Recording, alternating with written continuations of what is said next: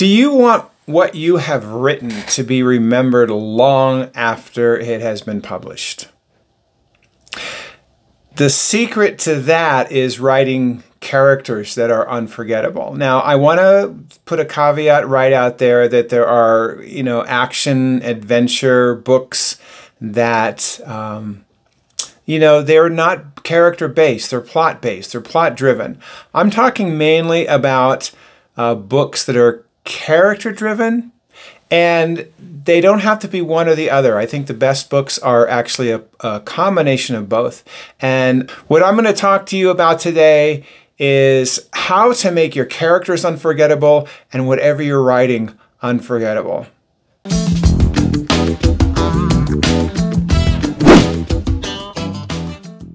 Hi, I'm Dada Groover with The Inspired Writer. Have you ever read something or watched a movie and it just stayed with you?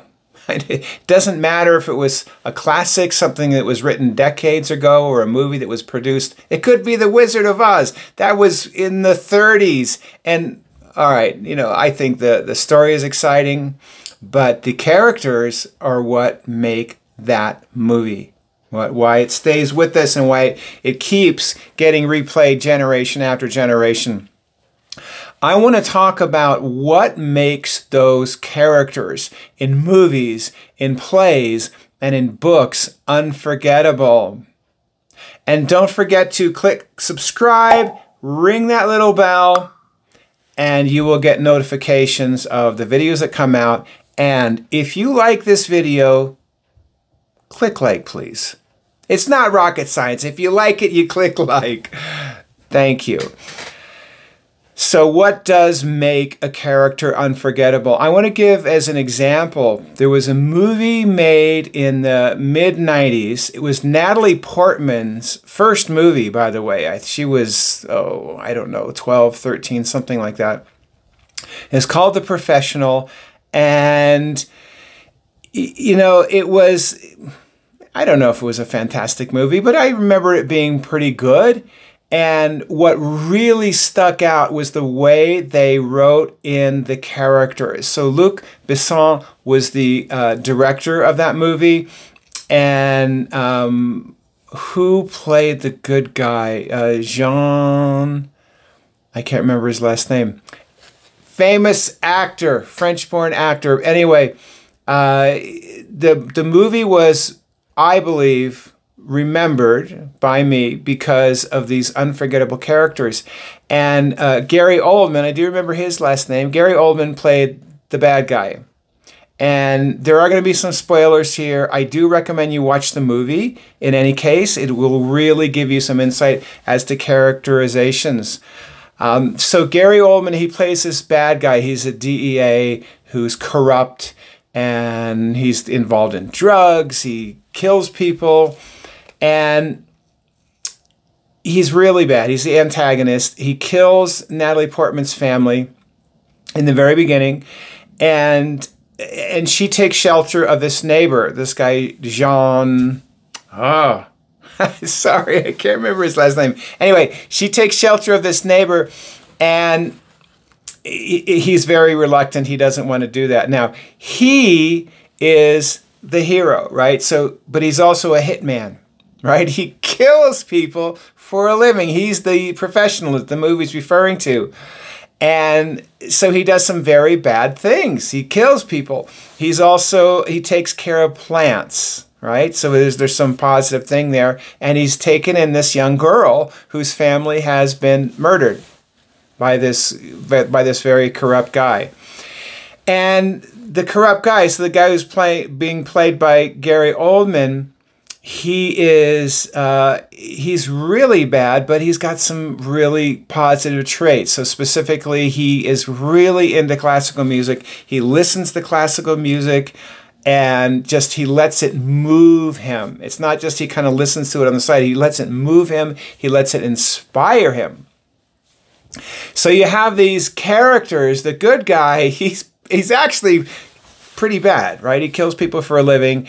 And the bad guy, he's got this really positive trait. And he's got other positive traits as well. And what I believe this does in general, this whole concept of making characters well rounded, it makes them very unforgettable. It makes them very realistic because guess what? Every single one of us has positive and negative qualities. You might not be a professional hitman or woman. You're probably not, but you may be. And you might not you know, let classical music completely inspire you and move you. Or you might not take in a, a, a neighbor's kid who's been recently orphaned or whatever. It doesn't have to be that extreme, but the characters are really important to make them colorful and very widely um, nuanced. I want to say something before we get too far in here that this is going to apply to fiction, this is going to apply to nonfiction how to, and also to memoir. So, a lot of times when I talk about things like characters, people assume I am talking about fiction, but not necessarily. Not necessarily. And in memoir, right, I've met, I've read memoir where people how to say this, how can I say this nicely, where people kind of portray themselves as a perfect person. And I just don't agree with that. I just don't agree with that because guess what? No one's perfect. Same thing I do. I have spent many years training speakers. I've trained some of the best speakers in the world. I really have. And I love that work as well as I do training writers.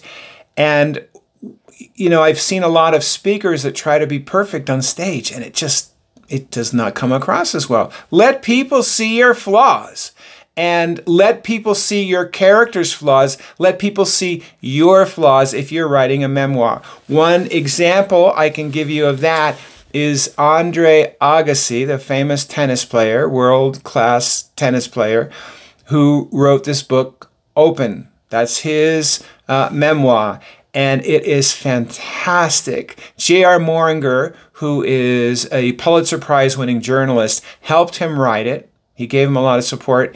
Uh, he gave him a lot of support. Yeah, he helped him write the book. They came out with this book, this memoir about his life that reads like really excellent fiction. And I think one of the ways it's so good is because his, his portrayal of himself as a flawed human being and yeah, he's had success, and, and the reasons for his success, it's just an inspiring book. If you hadn't read it yet, get open, give it a read, and see what I'm talking about. And plus, it's just a very, very enjoyable read. It's all about those characterizations. Whatever kind of book you're writing, how to nonfiction. Oh, and I hear people saying all the time, well, you, well, it doesn't have characters in it. It should how to nonfiction. Say you're writing a book on how to be whatever, okay, how to be a better auto mechanic. And if you're writing a book like that, then you're going to want to have anecdotes about your own life as an auto mechanic or others, somebody you're related to or knew or whatever, stories about auto mechanics and again, they need to be flawed individuals. That is what is going to get people's attention. That is going to make them remember what you've written. And it's also going to make them feel. If people can relate to the characters in your book, they will feel. Now, this can also be achieved by writing really good dialogue. Writing good dialogue is important. The dialogue should be realistic, not realistic in the sense that it exa- is exactly like people talk in the real world because people say um a lot, they say ah, they might repeat themselves, they speak in fragments, and if you write like that in the book, it will not be as good. It won't. You'll lose people. They will their attention will go somewhere else. They'll just they'll just put it down even though it's extremely realistic. It might be extremely realistic. So dialogue needs to be adjusted to sound realistic, but not necessarily be verbatim what people would actually say. And through dialogue, you can discover a lot about a character. Same thing. So with memoir, when you write memoir, it can be uh, very exciting if you bring people in. You let them see the dialogue that was going on. You could say, and I went to school and I had this fight with my professor of sociology and this happened and whatever. Or you could actually give the excerpt, excerpt, I said it right the second time, excerpt of the, of the dialogue that actually happened between you.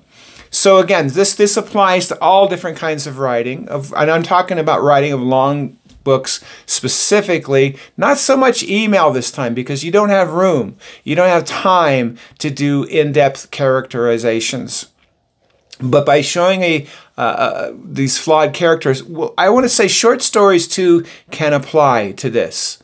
This can definitely be applied to short stories because with short stories, you have a very quick time to give the characterizations. You don't have as much time, you can't go as much into depth, but you want to at least give the impression that this character is a real person, has real wants, real desires, real relationships. And I believe the only way you're going to do that is if you show those flaws, you show both sides of it. Have you ever seen a movie or read a book or, or watched a play where one of the characters is perfect. I see these all the time. I see, I'm like, wow, why are they doing this? And the main person will be this perfect uh, personality, and they might be a victim of this or a victim of that, but they don't have flaws, like real flaws. Like again, in the professional, uh, Jean Jean Reno, John Reno, of course, there is his.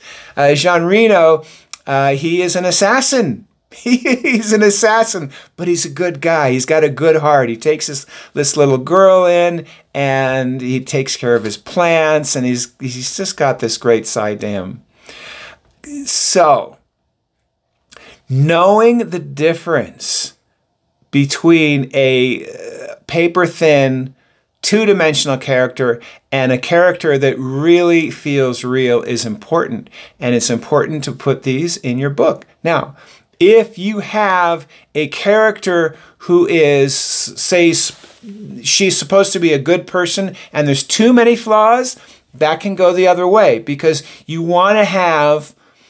I don't want to sound too binary here, but you want to have a, a figure out if, it, if this is a good character or a bad character most of the time. You can write an incredible book with somebody who is really ambiguous. Was this character good? Was this character bad? Another uh, movie that I have mentioned before in other videos, As Good as It Gets, with Jack Nicholson. He plays this scoundrel, right? He plays this guy. He in the first five minutes of the movie, he drops the neighbor's dog down the garbage chute of the apartment building.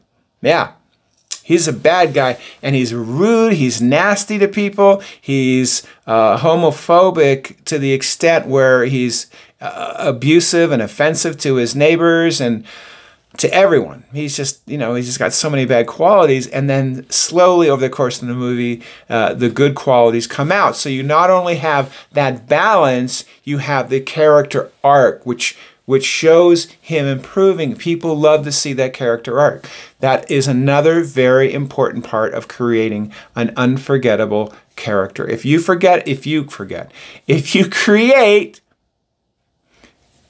if you create uh, an unforgettable character, it will, like I said in the beginning, it will make your work unforgettable as well. And part of it is just having that intent. I don't want my characters to appear perfect. Yes, you want your characters to appear likable. Like, in, again, in the example of the professional, right? Jean Reno, he takes in the little girl, right? Very early in the movie, and that makes him likable that makes him likable. He does not want to. That's the other thing. He knows what he does for a living, and plus, he's you know he he's he loves taking care of his plants. He does not want to bring. Uh, he does not want to let this little girl into his life. So there you have it. I hope this was useful for you. If you like the video, please click like and click that subscribe button, ring that little bell. I know I'm asking a lot, but I would love it if you did that. This has been Dada Groover, and thank you so much for being here today.